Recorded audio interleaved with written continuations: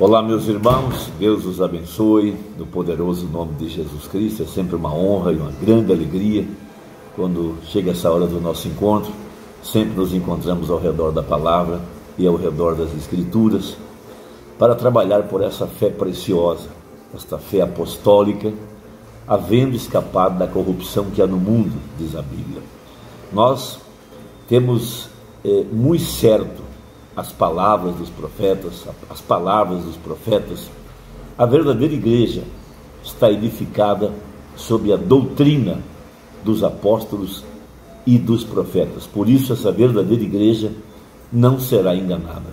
Essa verdadeira igreja ela é também chamada de as primícias, porquanto ela está em Cristo, sendo Cristo a primícia. Quando nós somos batizados no corpo de Cristo, nós também eh, eh, ganhamos esta bênção da primogenitura. Veja, por isso que no, no Velho Testamento o primogênito era o herdeiro, então os primeiros, por isso Jesus é o primogênito, porquanto nós estamos em Cristo, nós também nos, nos beneficiamos da bênção do primogênito.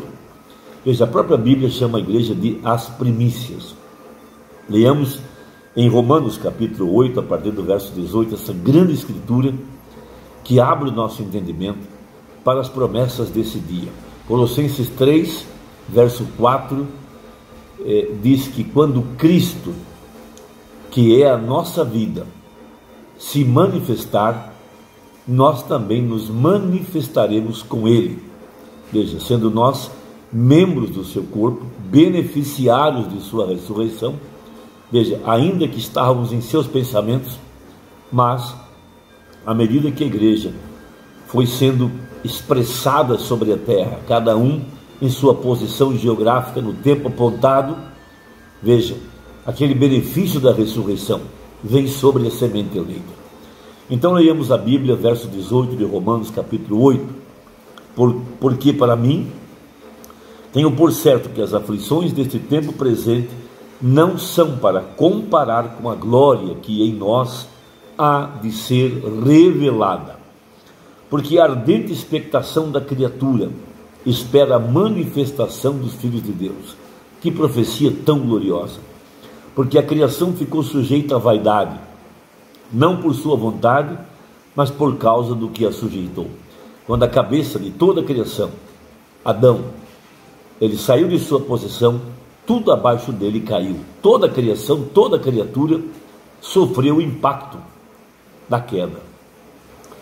Veja, na esperança de que também a mesma criatura será libertada da servidão da corrupção para a liberdade da glória dos filhos de Deus.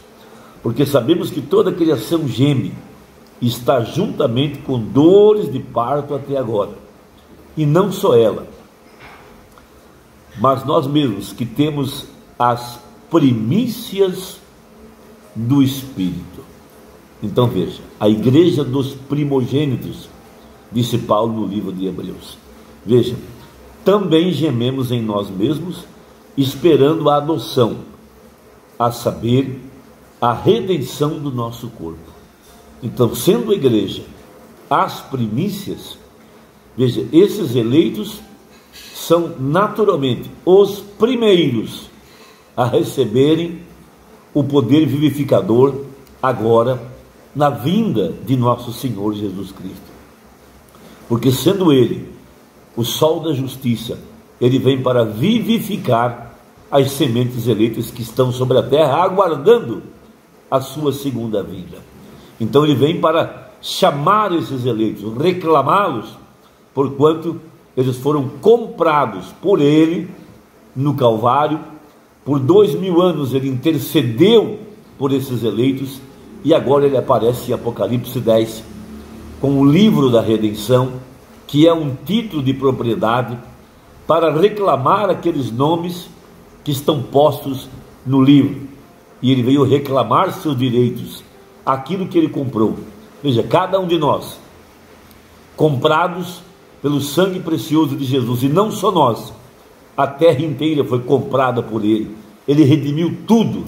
Veja, por isso toda criatura está esperando a manifestação dos filhos de Deus.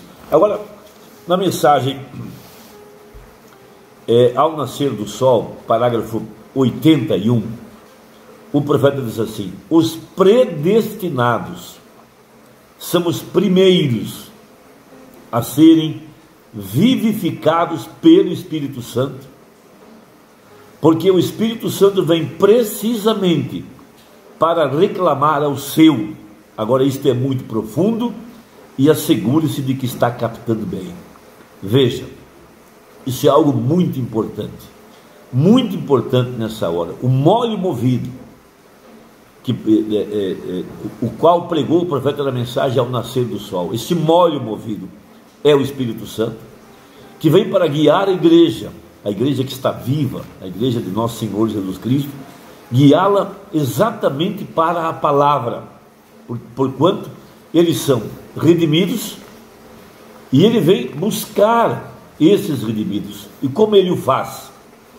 Ele faz vivificando a palavra em cada coração. A mensagem do dia, as promessas para esta hora. Porque Jesus disse: Ninguém pode vir a mim se o Pai o não trouxer.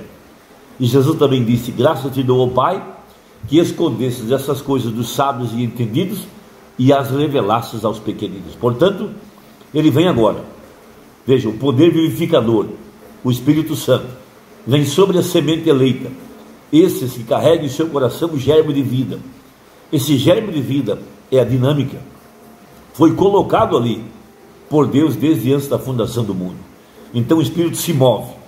Veja, ele vem se mover sobre a semente eleita aqui no tempo do fim, para trazer esses eleitos à vida. Veja, de acordo com Efésios 2, de acordo com Colossenses 4, de acordo com todas as Escrituras, esse, esse poder vivificador da ressurreição de Jesus sobre a semente eleita. Disse Paulo em Romanos 8, verso 11: Esse, veja a condição, esse é o Espírito que daquele, daquele que ressuscitou a Jesus dentre os mortos habita em vós, esse mesmo Espírito vivificará os vossos corpos mortais, veja, em ordem, e acrescenta o profeta, para trazê-los em obediência à palavra, à mensagem para o dia. Então, o profeta, na, na mensagem ao nascer do sol, parágrafo 159, aonde nós podemos agora ler ele diz assim: agora note, este poder vivificador, veja, vida eterna, guiando para a palavra. Veja, o Espírito Santo não falará de si mesmo, mas ele falará tudo aquilo que Deus falou através do seu profeta e através das Escrituras. E ele vem para glorificar a Jesus Cristo. Veja, a mente que estava em Cristo também estava em você, então. Estou procurando lhes mostrar que quando Deus levantou a Jesus dentre os mortos, naquele instante, também levantou a você e também lhe vivificou a vida juntamente com ele. Você é agora mesmo vivificado a vida, ainda que então você fosse apenas um atributo em seus pensamentos, mas Deus havia visto tudo nele no fim. Isso é algo muito grande. Assim como nós somos curados pelo sangue derramado na cruz do Calvário há dois mil anos atrás, pela fé. Nós somos salvos pela morte de Jesus e o sangue derramado há dois mil anos atrás.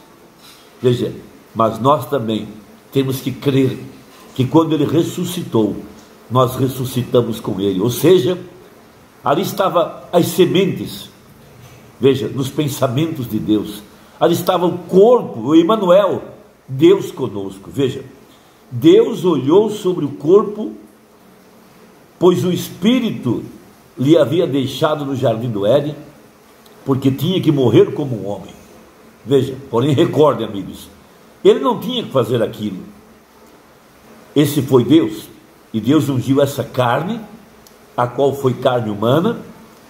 Se ele houvesse subido ao Calvário como Deus, nunca haveria sofrido esta classe de morte, porquanto é impossível matar a Deus. Ele não teve que fazer isso, porém ele foi ali com você dentro dele.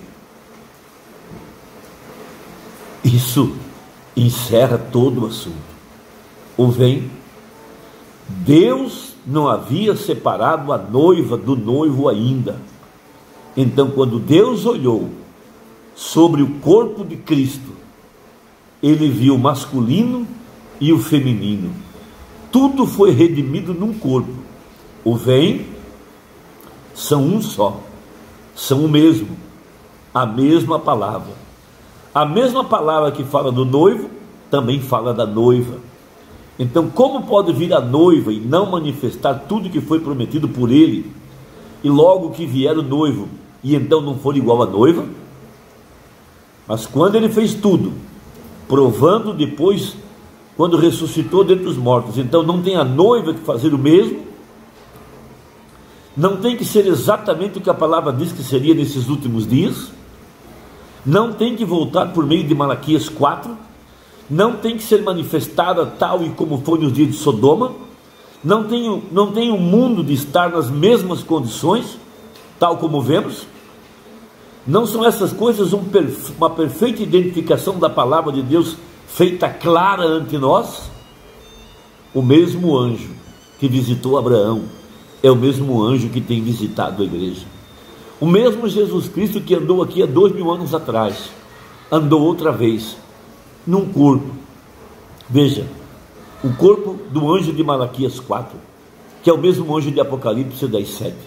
E agora essa voz que sai da mensagem, que sai da palavra, veja, o corpo palavra está vivificando a noiva, veja, e ela é a voz final.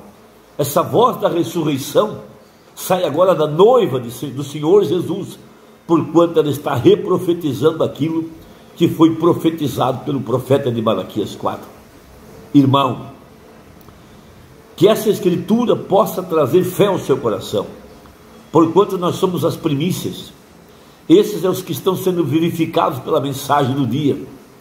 A mensagem está penetrando nesses corações e vivificando a semente eleita, porquanto a semente carrega dinâmica, o germe de vida e cada eleito está sendo atraído.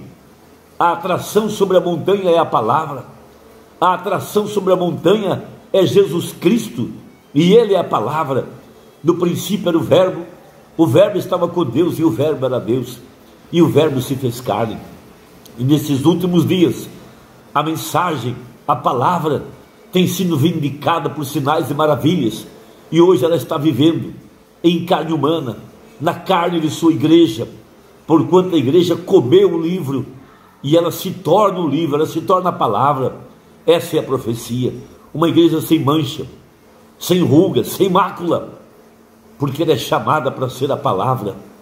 Irmão, que Deus te abençoe, no precioso nome de nosso Senhor Jesus Cristo. Amém.